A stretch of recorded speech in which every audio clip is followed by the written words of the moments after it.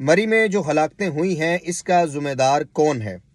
हुकूमत और इंतज़ामिया तो रवायती तौर पर ज़िम्मेदार शहरीों को ठहरा रही है कि देखें जी, गंजाइश इतनी थी, शहरी इतने आ गए, लाखों लोग आ गए, गंजाइश तो बहुत कम थी, गाड़ियाँ बहुत आ गई। लेकिन सवाल ये है कि वो हुकूमत जो पाकिस्तान में टूरिज़म के फ़रोग के लिए बड़े बुलंदो बाला दावे करती है बड़े बड़े ऐलानात करती है जी, हम स्विट्ज़रलैंड से आगे निकल जाएँगे। पाकिस्तान किसी सूरत या पाकिस्तान के सियाती मकाम किसी सूरत स्विट्ज़रलैंड से कम नहीं है।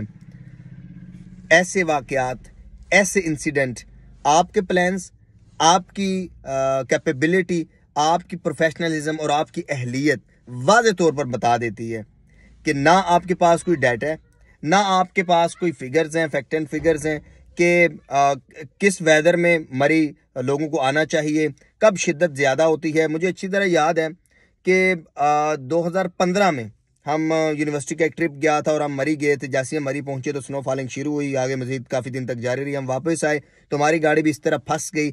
बहुत मुश्किल से निकली लेकिन एक बात का अंदाज़ा हो गया कि मरी किसी भी लिहाज से स्नो फॉलिंग के दौरान या ये जो आ, दिन है जनवरी के या फरवरी के या दिसंबर में वो टूरिज़म के लिए सूटेबल पॉइंट नहीं है।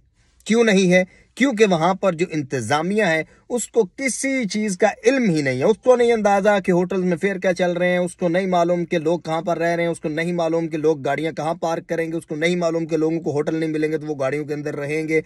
जैसे अभी आपने वीडियोज़ में देखा जो कैजुअलिटीज हुई हैं, वो गाड़ी के अंदर हुई हैं। इट्स मीन्स कि उनको होटल नहीं मिला होगा। अब इसकी जो रीजंस हैं, वो मजीद सामने आएँगी, लेकिन सवाल ये है, हुकूमत से और इंतज़ामिया से कि आप लोगों की नाअहली, आप लोगों की अनप्रोफेशनलिज्म की वजह से ये जो इस तरह के इंसिडेंट्स होते हैं, अभी मजीद आगे आपका पता चल जाएगा कि आप किस कदर अहल हैं, कि आप बताते लोगों को आप किस वेदर में आना है, किस वेदर में नहीं आना।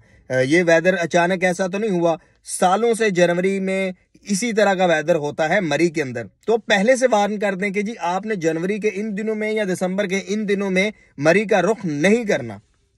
लेकिन, अब जब इंसिडेंट हो गया, अब वो बड़े आराम से बयान दे रहे हैं, अब वो बेचारी फैमिलीज़ जो अपने बच्चों के साथ छुट्टियाँ मनाने गए हुए थे या टूरिज़्म के लिए गए हुए थे, उनकी हलाकतें हो गई हैं और बहुत सारे जो फंसे हुए हैं, इनका पुरसान हाल कौन होगा?